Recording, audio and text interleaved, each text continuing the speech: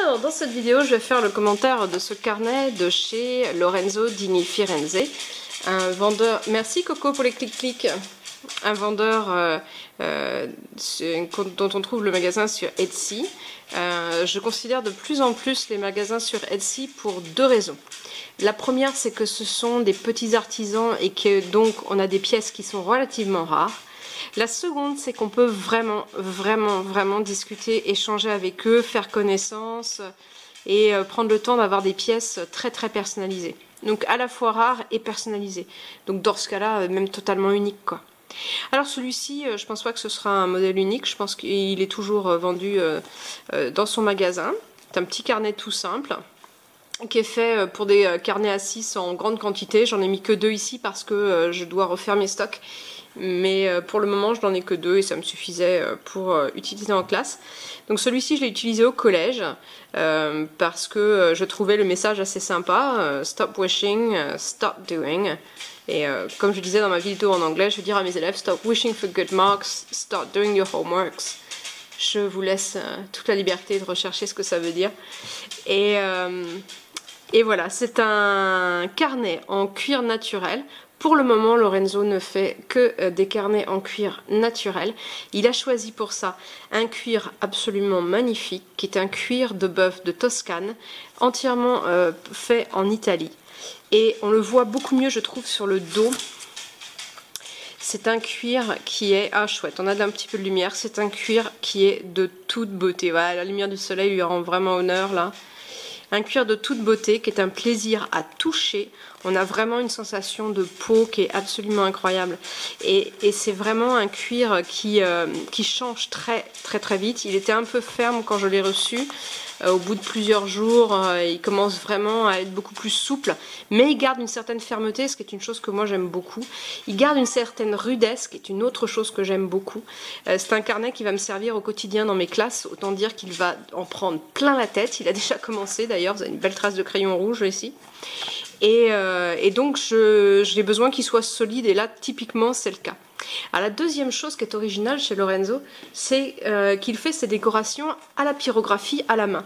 Donc, comme on voit ici, les lettres, elles sont pyrogravées dans le cuir. Donc, c'est le cuir qui est brûlé, en fait, comme une espèce de, tatouage euh, au feu, quoi.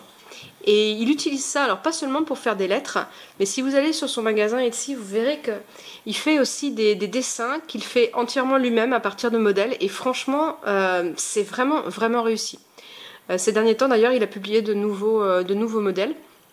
Et donc là, on est en train de travailler ensemble sur un projet de carnet très personnalisé avec un dessin ici, une citation ici au dos.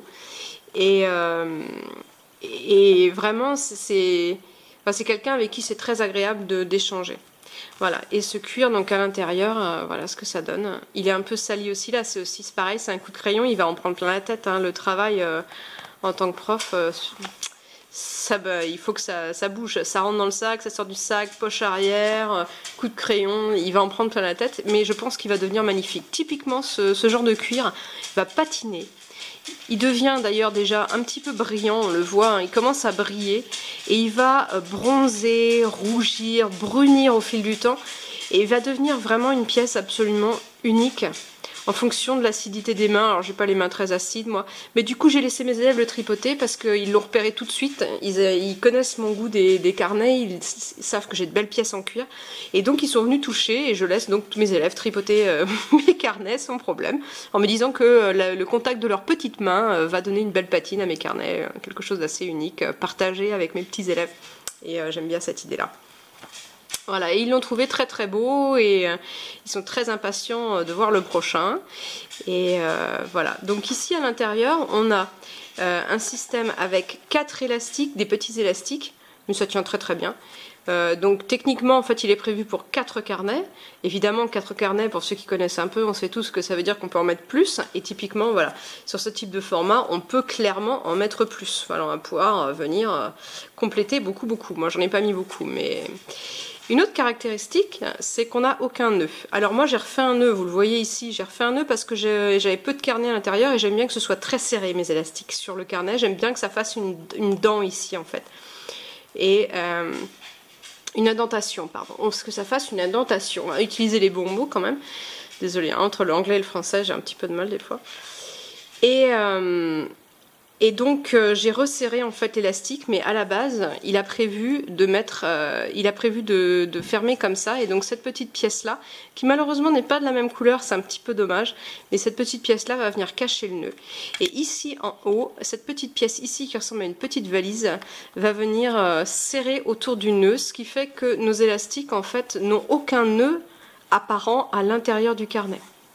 On a également une finition sur les bords avec euh, une coupe qui est faite penchée vers l'intérieur ici, qui est assez marquée, plus que ce que je vois d'habitude, sur un cuir qui fait 2,5 à 3 mm, assez épais, et euh, qui était beaucoup plus ferme en arrivant, mais qui est en train de gagner énormément en souplesse. Et en même temps, c'est ce qu'il me dit, c'est un cuir qui va rester euh, assez rustique et assez ferme. C'est vraiment ce qui a ma préférence. De, de tous les cuirs, j'ai vraiment un un, goût particulier euh, pour ces cuirs assez fermes. Je déteste par exemple les carnets qui ont des cuirs trop souples. Ce n'est vraiment, vraiment, vraiment pas mon trip.